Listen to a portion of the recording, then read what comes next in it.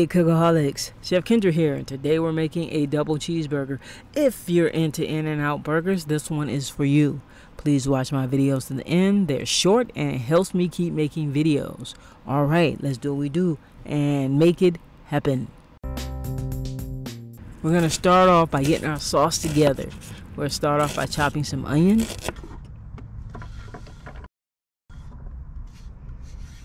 Slicing some tomato. I'm using Roma tomatoes here.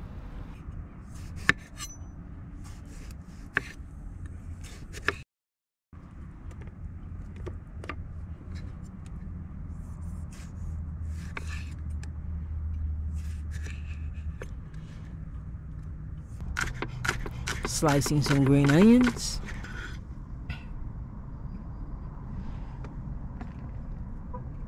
And chopping some dill pickle.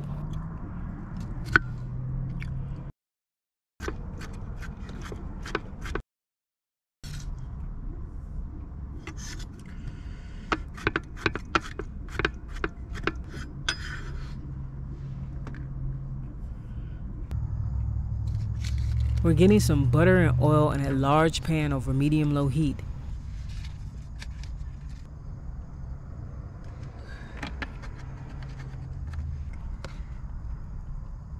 We're adding our onion. Now we're to cook and occasionally stir these onions until they caramelize.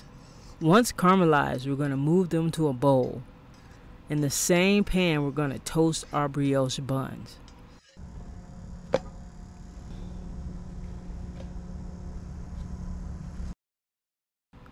Now we're going to hook up our sauce.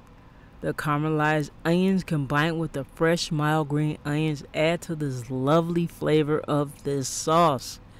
Although I think In-N-Out Burger uses chives. So, add the pickles and green onions. Ketchup.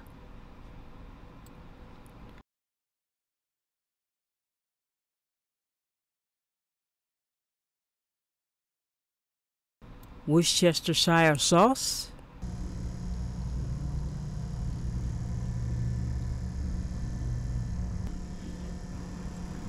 And mayonnaise. Stir well and set aside.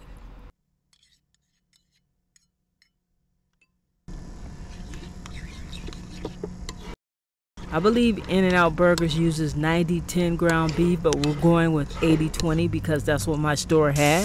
Off camera, we gently shape these into rounds. We're getting our beef rounds in the same pan over medium heat, flattening them until they develop a crust.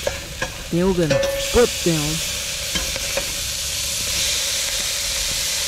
and add the cheese to the top until the second side of our cheeseburgers develop the crust and the cheese is melted.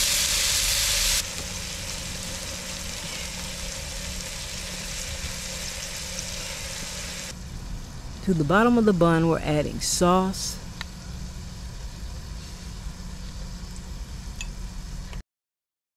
Lettuce. Tomato. Then our cheeseburgers. If you want, you can put an onion ring between the cheeseburger patties. Now we're going to add a little more sauce to the top this is a very good burger, y'all. For this and other fine recipes, go to chefkendra.weebly.com.